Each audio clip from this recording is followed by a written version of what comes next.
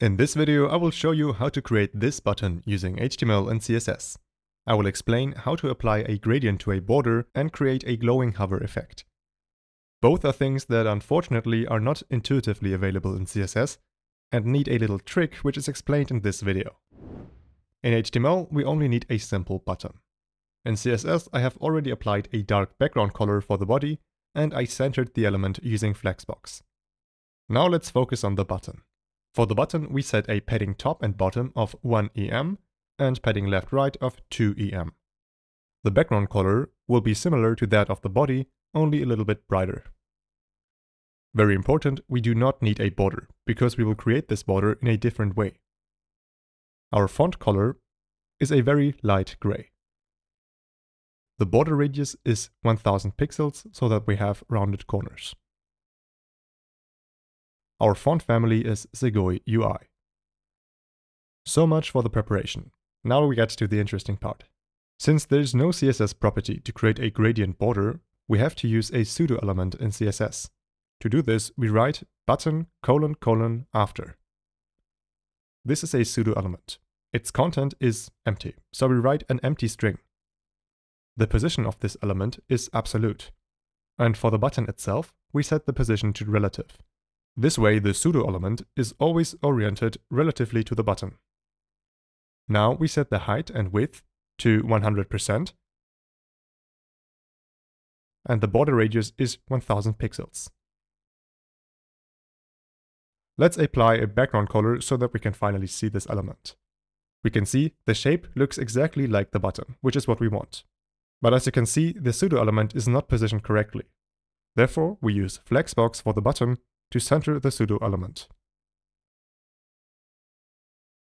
Now this element should completely cover the button. On this element, we want to display the gradient. For this, we set the background image property and use the linear gradient method. This method receives three parameters. The direction, to bottom right, the first color, which is blue, and the second color, which is purple. Now we have to move this pseudo element behind the button. To do this, we set the z index to minus 1. This way, the pseudo element is now hidden behind the button. Now, to create the border, we only need to adjust the height and width of this pseudo element. For example, 107 and 102%. And now we can finally see our gradient border. Since the pseudo-element is bigger than the element itself, it appears like a border. Now we only need four lines of code to design the hover state for the button. If we set the z index to 0, we push the pseudo-element back to the foreground, and the button is filled with the gradient. Now we want to create a glow effect. For this, we use the box shadow property. We create a colored shadow, so to speak. Unfortunately, the linear gradient method cannot be used here either, which is why we need to create two overlapping shadows instead. The first shadow is 40px on the x-axis, meaning shifted to the right, and 0 on the y-axis. 100px specifies how blurred the shadow should be. The color of the first shadow is blue. Now we can see our first blue shadow. To create the second shadow, we simply add a comma and do the same thing again. Only here it is minus 40 pixels on the x-axis, meaning shifted to the left, and the color is our purple color.